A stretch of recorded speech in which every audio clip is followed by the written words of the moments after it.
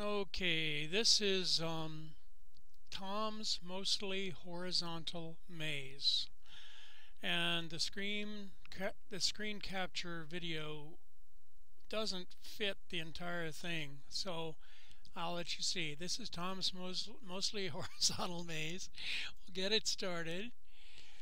Okay, and, and I had to tell you the title because it the screen save thing cuts it off. But uh, let me just tell you that it takes exactly 90 seconds for the maze to complete.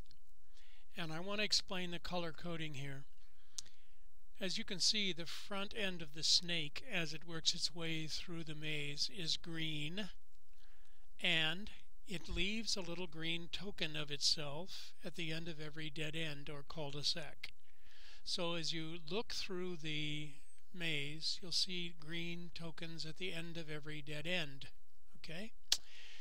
But it also leaves a red marker or red token at the point that it returned to continue its journey. So the red represents a return and another route taken. Uh, sometimes uh, a, intersection will contain three different possibilities and it'll take each one in turn and return again and again until it gets it right.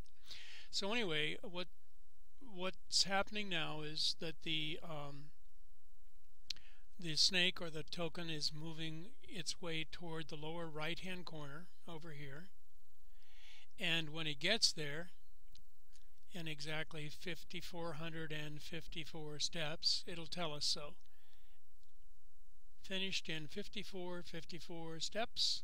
Thank you, and we are done.